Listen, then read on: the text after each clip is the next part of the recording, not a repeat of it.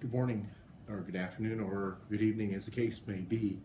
I'm Steve McClure. Uh, I'm uh, presently at JPL. I'm uh, the mission control or the uh, radiation control manager for the Europa Clipper mission, which is uh, uh, behind me here. I'm giving a talk next week on that, so I thought, thought I'd put that up as background.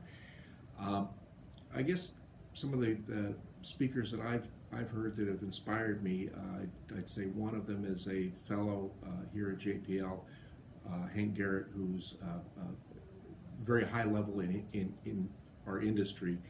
Uh, he speaks from the heart. He speaks with examples. he does put a lot of wordy charts up, but people are always focused on what he's saying, what what how he's uh, giving the experience to the people. Um, uh, and I actually have invited him to, to a couple of conferences and had him speak on, on his topic, and he was always very entertaining. Uh, and so I'd use him as, as a bit of an example. And again, uh, uh he, uh, he really speaks to the audience. He does have wordy charts, but he keeps the focus on himself. another example I'd say is Barack Obama, who really uh, enunciates. He's he's very eloquent in his speaking, uh, very straightforward, um, uh, very clear in his speech. And he doesn't speak down to people.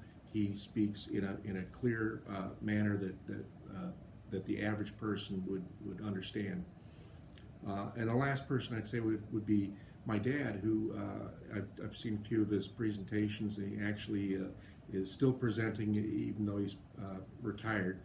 Uh, he uh, gave me a couple of examples of, of, presentations that he's about to give to his uh, engineering society.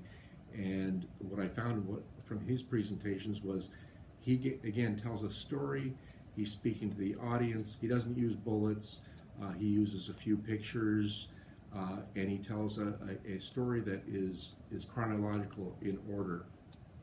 Um, some of my experiences at JPL, uh, I've had a, a, number of times where I've had to present in front of uh, two or three hundred people, and I'd say uh, uh, uh the experiences. Sometimes the experiences have been very good. Sometimes they they've been uh, a little shaky.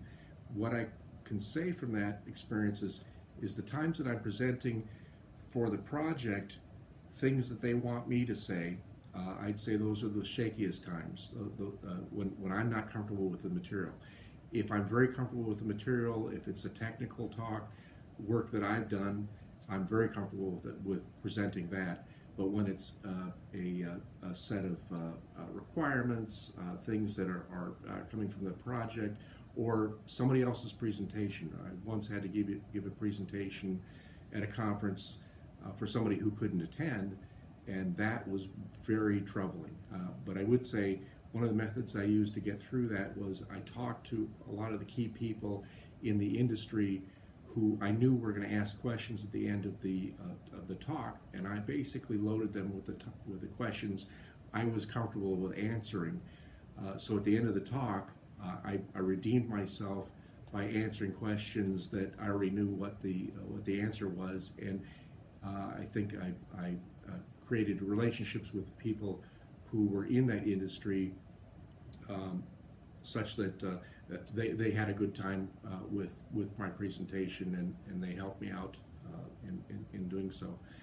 I'm hoping that this class will help me uh, broaden my capabilities to uh, present. Uh, in the next few years, I think I'll be presenting quite a bit more to a wider audience and Uh, that's one of my reasons for, for taking the class. Thank you very much.